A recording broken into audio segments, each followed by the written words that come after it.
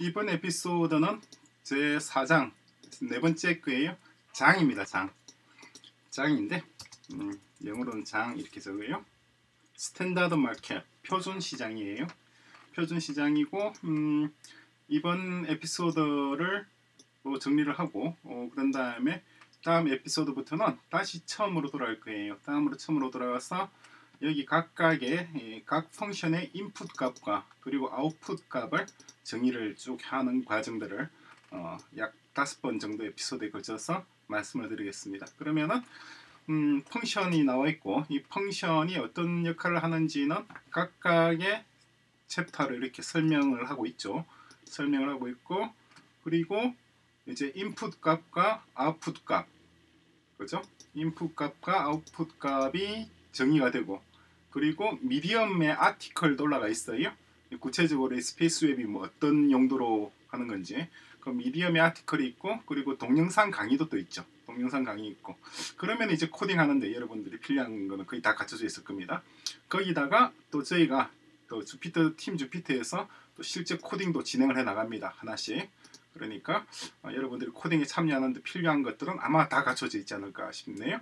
이제 남아 있는 것이 루아 programming language하고 블록체인 초급 중급 강의인데 그것도 가능한 빨리 해서 어, 지금 녹화하고 있는 시점으로부터 대개 열흘 이내에 예, 가능한 열흘 이내에 다 올릴 수 있도록 하겠습니다. 그러면은 어, 다 갖춰지죠. 루아 강의, 어, 블록체인 기초와 중급 강의, 그리고 각각의 function에 대한 정의, 이 function들의 역할에 대한 설명 있고, 그리고 미디엄 아티클, 미디엄에 올려져 있는 아티클 있고, 동영상 강의 있고, 그렇죠?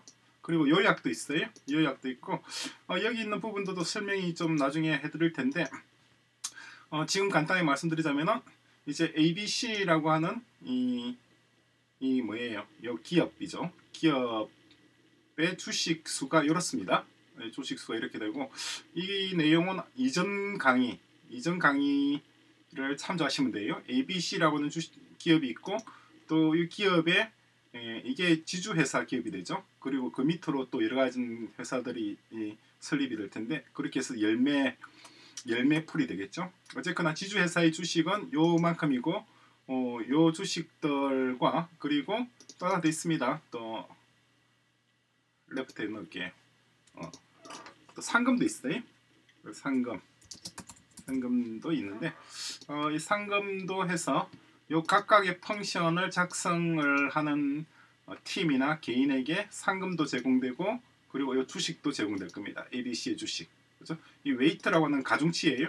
가중치가 이제 기본적으로 2천만 개 그러니까 비트코인의 코인 수랑 거의 비슷하죠.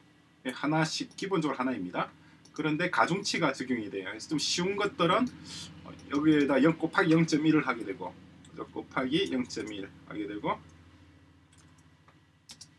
좀 어려운 것들도 있어요. 좀 어려운 것들은 곱하기 2가 되고 이런 식으로 구성이 됩니다. 요거는 이제 이 부분은 따로 별도의 섹션에다가 상금 금액이 얼마이고 그리고 어, 제공되는 이 ABC 기업 지주회사의 주식이 얼마나 되고 각각의 펑션별로 다르게 할당이 될 겁니다. 그거는 이제 다음 주에 이걸 다 정리를 해 나갈 거니까 다음 주에 정리하면서 하나씩 하나씩 다 기입을 할 거예요. 요게 작성이 다 되고 나면은 요 밑에까지 쭉 다 작성이 되겠죠. 이렇게 작성이 다 되는 거는 어, 아마 4월 4월 초 정도면 다 될 것 같네요. 4월 초에 정리가 되면은 그러면 4월 말까지 준비를 조금 더 하고 그리고 몇 개의 샘플 코드, 샘플 루아로 작성하죠. 루아로 작성한 샘플 코드를 만들어 놓고 그런 다음에 5월 달에 어, 전국에 순회 세미나를 진행할 겁니다. 순회, 순회 세미나를 통해서 학습자들이 참여하면 그 학습자들이 상금과 그리고 ABC 지주회사의 주식과 어, 를 가지게 되는 거죠. 예, 그런 식으로 지금 진행을 하려고 합니다. 자, 어쩌다 보니까 서설이 좀 길어졌네요. 오늘의 주제는 마켓입니다. 마켓에 대해서 한번 살펴보겠습니다. 표준 시장이에요. 이 표준 시장은 이제 표준 화폐로 거래되는 시장입니다. 그리고 이 표준 화폐 시장에서 이걸 이제 한국 말로는 장이 한국말이라기보다도 정식 용어가 장이에요. 장. ZANG입니다. 어, 그런데 이 장은 좀 기존에 있는 시장하고 조금 다릅니다. 어떻게 다르냐니까 기존의 아마존이나 뭐 지마켓, 11번가 어, 이런 인터넷 쇼핑몰 있잖아요.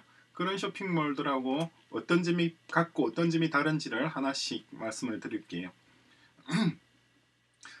첫 번째 해야 될 거는 뭐냐니까 누구나 어, 누구나 무엇이든 판매를 할 수가 있습니다. 이 장에서는 그리고 수수료도 없어요. 그냥 어, 누구든지 올려서 판매를 할 수가 있고 그리고 어, 예 그렇죠. 그렇고 그런데 어쨌거나 요 이 뭐예요? 우리가 이 오픈해시 플랫폼이 XMPP 웹 위에서 구동된다고 하는 것은 여러분들이 알고 있어야 됩니다. 별도의 웹이에요. 기존에 있는 웹하고는 다른 독립적으로 구동되고 있는 웹입니다. 여기에서 구동이 되고 그리고 어, 판매자들은 각자의 상호를 가져야겠죠. 그 상호가 바로 XMPP 메신저 아이디이고 또한 동시에 웹 어드레스가 됩니다.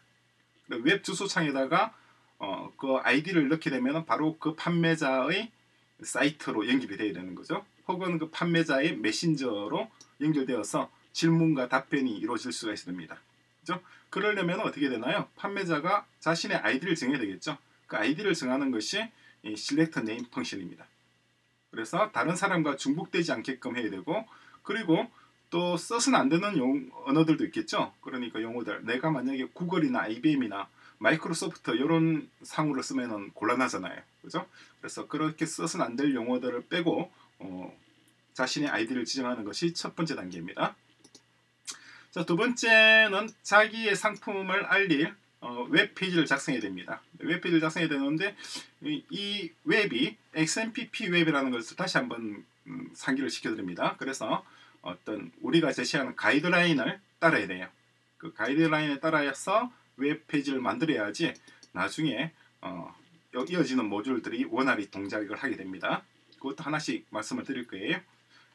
그럼 세 번째는 어떤 상품을 자기가 팔라는 게 팔려고 하는 상품이 있으면 그것을 그냥 내놓는 것이 아니라 특별한 목적의 수풀 SPS라 그러죠. SPS인데 그거 SPS 이름이 장입니다.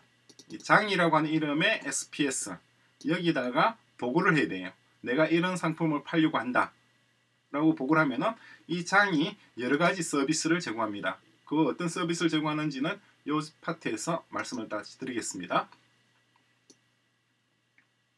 그게 이제 장에 보고하는 거고 두 번째, 네 번째는 IRS에도 보고를 해야 됩니다. IRS는 국세청이죠. 뭐 한국말로 말하면 국세청이에요.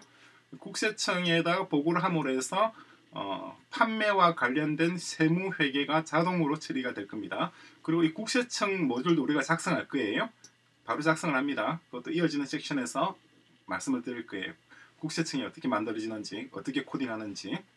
다섯 번째 단계는 어, 이 transaction hash. 이 각각의 transaction hash, transaction도 마찬가지. 이 비트코인이잖, 어, 어 블록체인이잖아요. 블록체인에 의해서 어떤 위 변조가 불가능한 transaction이 구성이 되죠. 그죠? 그래서 여기 transaction으로부터 transaction, transaction 데이터라고 한다면은 누가 누구에게 어떤 물건을 얼마의 가격에 언제 어떻게 판매하겠다고 하는 계약이죠. 그죠? 그 계약으로 그 계약 데이터로부터 hash 정보를 뽑아냅니다. 그렇게 하면은 그 계약 내용은 절대 앞으로 바꿀 수가 없는 상황이 되는 거예요. immutable 하게 되죠. 그죠? 그 immutable한 데이터로부터 hash를 뽑아내어서 그 해시를 장에게 전달합니다. 장. 그죠? 그럼 이 장은 그 해시를 위빙하는 거예요. 위빙해서 직녀죠. 직녀로서 모든 수풀 서버는 직녀입니다. 그러니까 배를 짜는 직녀죠. 그래서 어, 절대 한 번 이루어진 계약의 내용이 변경이 될 수 없도록 확정하게 됩니다. 그죠? 또 그 외에도 다른 역할을 하게 돼요. 어떤 역할을 하는지 장에서 살펴보겠습니다. 자, 그런 다음에 어떤 불평, 불만이 있을 수가 있겠죠? 그런데 내가 원했던 상품이 아니고 엉뚱한 게 왔다. 아니면 물건이 변질되었다. 그런 것도 있겠죠. 그런 건 역시도 장에게 보고를 해야 됩니다. 그럼 장에서 그걸 처리하게 돼요. 그럼 이제 장이 어떤 역할을 하는지 구체적으로 다 살펴보겠습니다. 자, 장은 마켓 SPS, Special Purpose 수풀입니다. 이 SPS가 무엇인지는 지금 계속해서 몇 번씩 언급되고 있는데 어, 이어지는 섹션에서 어, SPS의 계층 구조에 대해서 자세하게 설명드릴게요. 이게 사실상 어, 우리 오픈해시 플랫폼의 뼈대입니다. 뼈대이고 골격이죠. 그러니까 아주 중요한 개념이에요. 근데 이걸 처음부터 설명드리면 여러분들이 좀 헷갈릴 것 같아서 좀 뒤로 밀어놨어요. 아마 한 두세 개 정도 이 강좌를 더 진행하고 그런 다음에 SPS에 대해서 설명을 드릴 겁니다. 음. 아, 그리고 한 가지 더 장 자체도 이것도 하나의 비즈니스 entity입니다. 그러니까 ABC 컨소시엄을 구성하는 그죠? ABC 컨소시엄을 구성하는 굉장히 많은 비즈니스 entity들 중에 하나가 장이에요. 따라서 이것 자체도 수익 모델이 있어야 되겠죠. 그 수익 모델이 어떤 건지 같이 한번 살펴보도록 하겠습니다. 여기서 첫 번째 하는 것은 일단 룰이에요. 규칙을 지정하는 playground를 준비를 합니다. 규칙이라고 하는 것은 이 장이 어떻게 운영되어야 되고 어떤 규칙 하에서 판매자와 구매자 간의 계약이 체결되어야 되는지를 어, 정리해 놓은 일종의 법전입니다. 그 법전을 어떻게 만드느냐니까 지설들이 만드는 거예요. 그러니까 장에 참여하는 시장 참여자들이 만들고 그 사람들이 어, 어떤 규칙을 만들어 나가는 과정이 이 보팅 시스템에 의한 겁니다. 투표 시스템이에요. 그리고 이 투표 시스템은 특히 어, machine learning 분야에서 natural language processing 관련 모듈이 적용이 될 겁니다. 상당히 재밌는 시스템이에요. 어, 재밌는 시스템이고 이 시스템이 나중에 발전하게 되면은 어느 한 국가의 사법 시스템이라든가 입법 시스템으로 그대로 전환이 될 수가 있습니다. 참고로 말씀드린 거예요. 그런 다음에 이 장이 또 하나 역할이 뭐냐니까 누구에게 어떤 광고가 전달되어야 되는지를 결정합니다. 그래서 예를 들어서 누가 나는 신발을 판다. 수, 수제 신발을 판다. 근데 내가 수제 신발을 판다는 정보를 저는 제주도에 있는데 이것을 육지, 서울이나 부산에 있는 사람에게 알려서는 아무 의미가 없잖아요. 그 사람들이 신발 맞추러 제주도까지 내려올 수는 없을 거 아니에요. 그죠? 어떤 상품을 누구에게 홍보할지를 결정하는 것이 지설의 역할입니다. 아, 장의 역할입니다. 이건 역시도 machine learning 알고리즘을 쓰면 간단하게 해결할 수가 있습니다. 코딩하는 것보다 손으로 코딩하는 것보다 그냥 machine learning deep neural network 구성하면 바로 답이 나와요. 이것도 어떻게 만드는지도 어, 이제 machine learning 관련한 챕터에서 또 예제로서 보여드릴 겁니다. 세 번째입니다. 이제 complain을 접수하는 거예요. 어, 어떤 소비자로부터 어, 불평이 있을 불만이 있을 수 있겠죠. 그 불만을 뭐예요? 접수하는 모듈을 작성을 합니다. 물론 이제 6화 원칙에 따라서 접수해야 되겠죠. 그럴 때 마찬가지로 트랜잭션 데이터 요거죠. 요 해시 요 해시 정보가 같이 전달돼야 됩니다. 그래야지 장이 구체적으로 어떤 거래인지를 정확히 바로 알 수가 있겠죠. 그런 다음에 규칙에 규칙을 참조해서 이 규칙을 위에서 말하는 이 규칙을 말하는 겁니다. 이 규칙을 참조해서 어 뭐예요? 그 저기 그 분쟁을 해결하게 됩니다. 장이 해결하는 거예요. 그래서 어떤 어떤 사기성 상품이었다. 노트북을 판매한다고 해서 샀는데 벽돌이 들어왔더라. 전달되었더라. 그러면 그 판매자는 시장에서 퇴출되는 겁니다. 퇴출되고 소비자에게는 장이 보상을 해주게 될 거예요. 속았다고 한다면은 그렇죠? 그러면 장은 그 돈을 어디서 나오느냐? 어, 그 돈이 나올 데가 있어야 될 거 아니에요? 그건 좀 이따 말씀드릴게요. 다음에 이 룰 자체도 계속해서 갱신을 하게 됩니다. 룰을 갱신하는 메커니즘이 바로 update rules of 장입니다. 이 function에서 결정을 하게 돼요. 이거는 역시 위에 있는 voting 시스템, 이 voting 시스템의 응용입니다. 이 voting 시스템은 굉장히 많이 써야 해요. 우리 Openhash 플랫폼에서. 그래서 한 번 만들어서 여기도 쓰고 저기도 쓰고 다 둘러가면서 쓰는데 어, 장에서 쓰는 voting 시스템도 역시 Openhash의 기본적인 voting 시스템에 그대로 가져왔었습니다. 어, 기본적인 voting 시스템에 대해 가지고는 또 이어지는 섹션에서 자세하게 설명을 드리겠습니다. 다음에 signboard에 대해서 한번 말씀드릴게요. signboard는 뭐냐니까 모든 판매자는 자기의 고유한 아이디를 가지잖아요. 여기 나와 있죠. 이 아이디입니다. 그죠? XMPP 메신저 아이디이고 웹 address입니다. 그죠?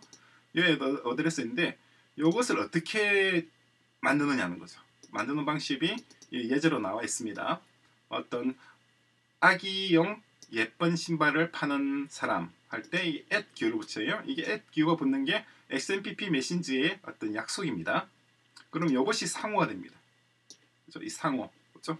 이 사인보드라고 얘기하는데 사인보드가 어 이제 판매자뿐만 아니라 구매자도 자기의 사인보드를 가져야 됩니다. 그래야지 어, 본명을 굳이 다 얘기할 필요는 없을 거 아니에요. 물건 사면서 그죠? 그래서 자기만의 고유한 아이디 XMPP 아이디를 가지게 됩니다. 근데 이 아이디를 어디서 가져오느냐 하니까 딕셔너리에서 가져올 거예요. 그 사전입니다. 사전에서 가져오는데 사전에 있는 단어를 가져와서 쓸 수도 있고 아니면 자기 스스로 만들어서 쓸 수도 있습니다. 그죠? 이건 자기 스스로 만들어 쓰는 경우에요. 이런 경우에는 아무런 비용이 들지 않고 수수료를 부과하지 않습니다. 장에서. 그런데 이 딕셔너리에서 가져다가 쓸 수가 있어요. 예를 들어서 푸른 소나무라든가 뭐 밝은 달, 보름달 이런 것들은 딕셔너리에 다 들어 있어요. 일반적인 보통 명사들 말하는 겁니다. 보통 명사들은 딕셔너리 들어 있고 그 딕셔너리 중에서 어, 써서는 안 되는 단어들 있겠죠. 예를 들어서 구글 같은 거는 이런 단어는 구글에서 써야지 내가 쓰면 안 될 거 아니에요. 그렇죠?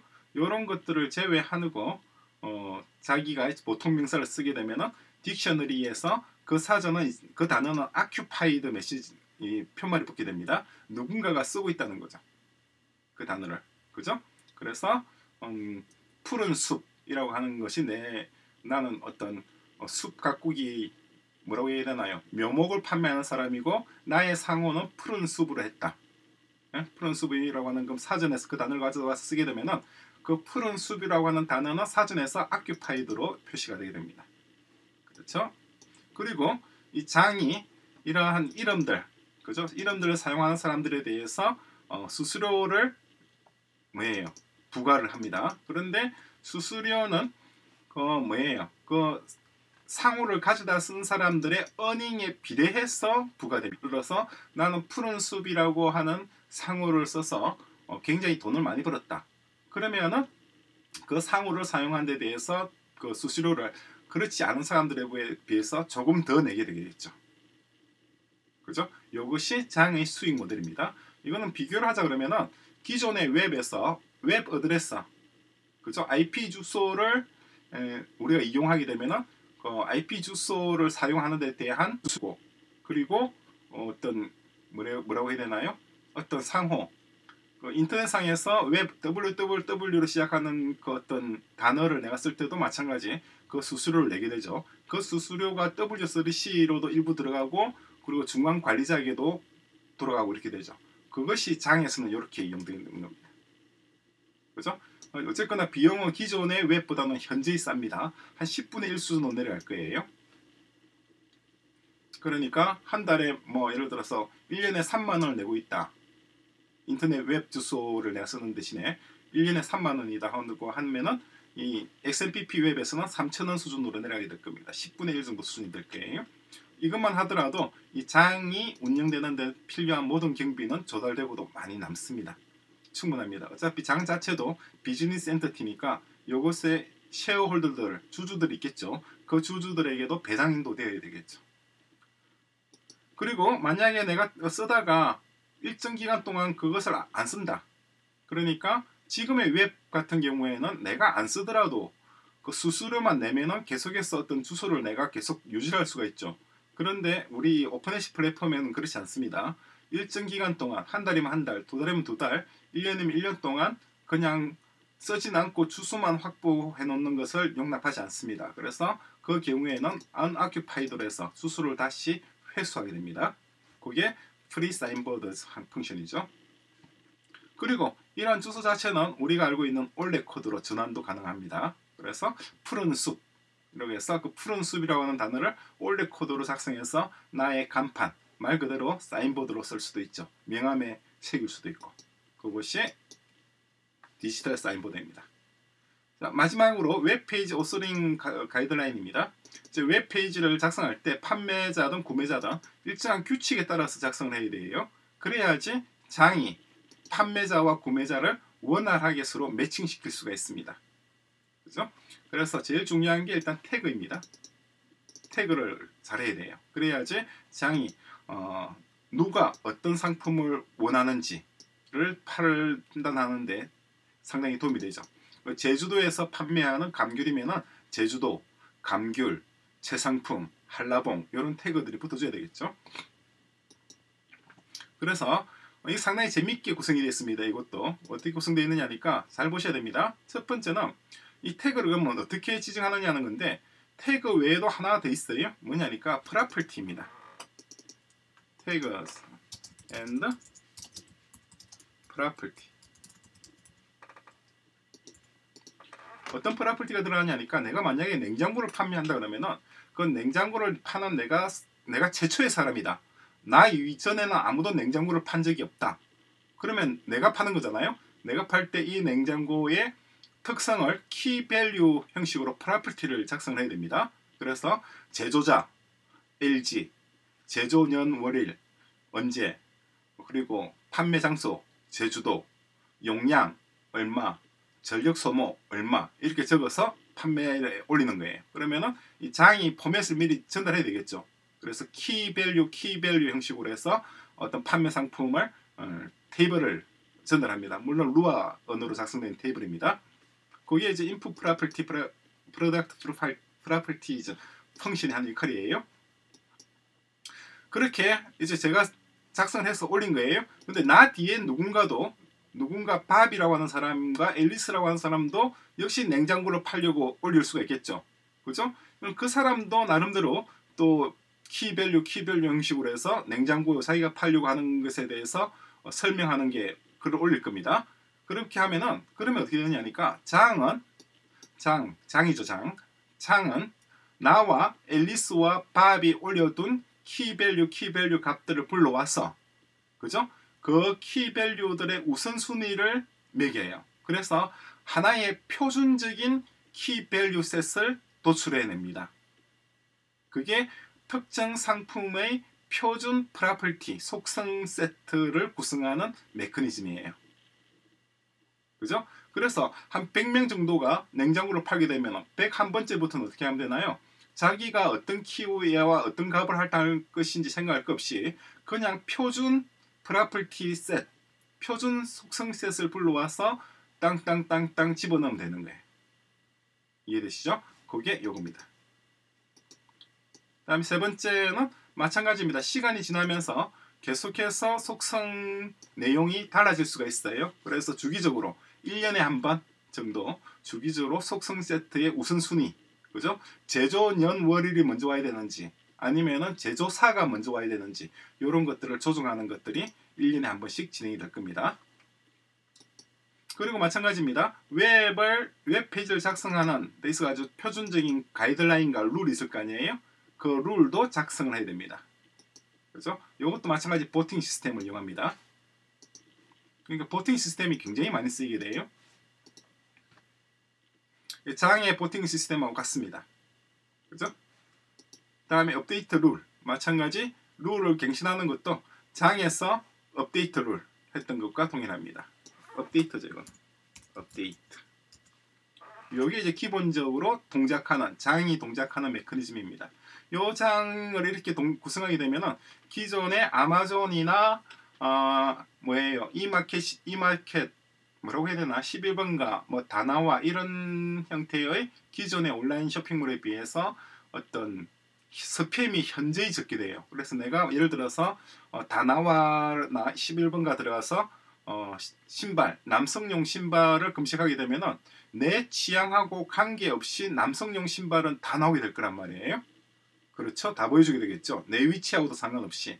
하지만 표준 시장에서는 그렇지 않습니다. 내가 남성용 신발을 검색을 하게 되면은 내가 나의 키, 몸무게, 발의 크기, 내가 살고 있는 곳 이런 정보에 기초해서 그리고 나의 경제적 능력 또 기초해서 나에게 적합할 것으로 판단되는 일련의 신발들, 남성용 신발들을 골라내요. 그죠? 골라내고 그런 다음에 내가 이전에 구매했던 신발들이 있을 거 아니에요? 그 이전에 구매했던 신발들의 디자인으로부터 내가 어떤 종류의 신발을 좋아하는지 나의 디자인에 대한 취향도 판단을 합니다.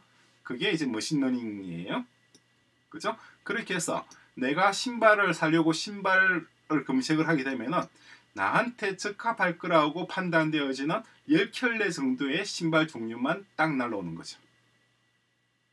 그럼 얼마나 단순한지 바로 비교되죠. 내가 다나와 가서 어, 다나와 11번가 옥션에 가서 신발을 사려고 하면은 남성용 신발 카테고리 지정하고 그리고 가격대 지정하고 뭐 그런 다음에 쭉 나오는 것들 하나씩 보고 상품평 보고 막 그래야 되잖아요.